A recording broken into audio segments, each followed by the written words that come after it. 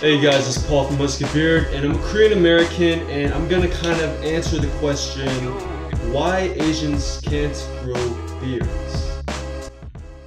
So if you're new to my channel, welcome. Basically, I've been trying to grow up my beard for like almost six months now, and it's not much. I've actually been using minoxidil, which is like a hair growth ingredient, and this is still that I got. So having said this, there seems to be some sort of grounding for this myth or for this stereotype that Asians can't grow beards. Obviously this is a stereotype and nothing more, but there is some sort of common truth or common grounding to this because in order for stereotypes to even exist, there has to be it has to be a common phenomenon, right? Now having all said all this, I'm gonna approach this question to the best of my abilities and uh, first one is our culture, our culture.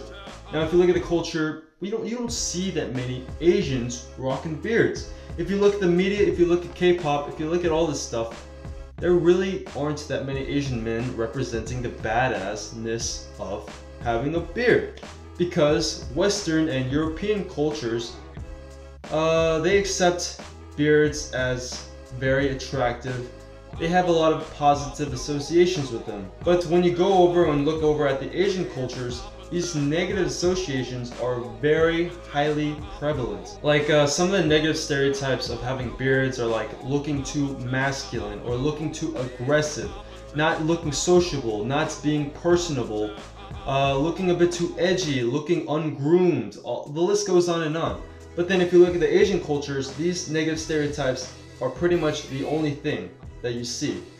And because of the trends, you know, the global trend of uh, beards being in, everybody's interests, this trend, this the negative stereotypes is slightly diminishing. You see more Asian people rocking beards, but it's still there and it's still going to take a hell of a lot of time to kind of dissipate, diminish this, uh, this negative stereotype.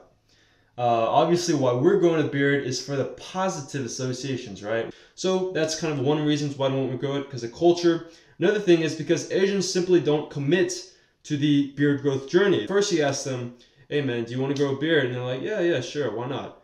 And then like uh, I asked them like, oh, have you ever actually tried to grow a beard? And they're like, yeah, I mean, I tried a little bit, but I just can't grow a beard. How long have you actually tried to grow a beard? They reply, two weeks, or maybe a month. You know, if you guys are on this journey, you guys know that's that ain't shit. Okay, Three months is a very good foundation. It's the very minimum, okay? Anything under that doesn't really cut it. You know, you don't really have a solid understanding of your genetic capacity to grow facial hair. If you want to use minoxidil, how much you can actually grow will, it'll increase a lot. Uh, if you're interested in that, check out my videos on minoxidil. Check out other YouTubers and their amazing results. Asians don't particularly commit to the beard growth journey this has to do with their culture, their relatives. They don't see a lot of Asians rocking beards, so they automatically assume they don't have the genetics to grow a beard.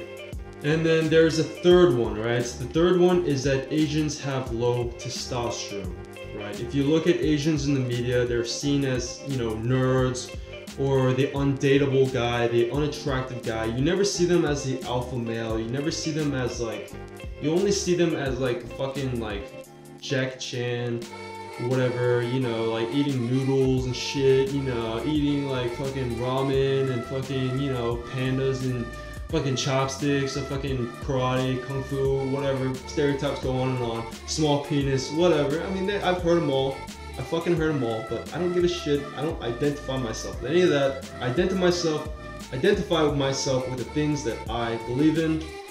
But there is a stereotype, there is a common myth that Asians have low testosterone. Now, this is gonna blow your mind.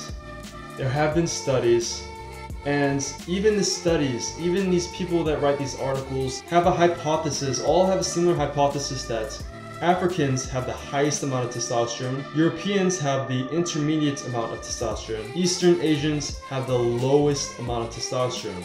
I read this and I mean, I don't really doubt it. It just seems like that's true. And they've actually collected average samples of, uh, of all these populations and ethnicities testosterone, total testosterone amounts, and they found that Eastern Asians had the highest amount of testosterone.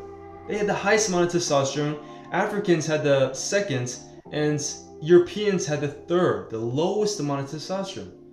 Now, isn't it like think about that for a second? The way Asians are portrayed in media, the way that you might think of Asians, data and this research has shown that they have the highest amount of testosterone. Testosterone. You can look up the articles. I'll have a couple links in below. There's also finding that Asians had the lowest amount of sensitivity towards uh, what is it, uh, testosterone. But there isn't really a solid answer to the uh, the genetic androgen uh, equation of uh, beard growth. Something that we really can't know for sure because genetics and ethnicities uh, we'd have to go back from the roots of historical data and like all this stuff evolutionary evolutionarily speaking. It's, it's, it's very complicated. Uh, there will never be an answer probably but if you're an asian i would suggest that you freaking like you you commit to this journey. Maybe subscribe to my channel. I'm an asian trying to grow my best beard uh, hopefully that'll motivate you guys. As always you guys have a good one. Thank you guys for watching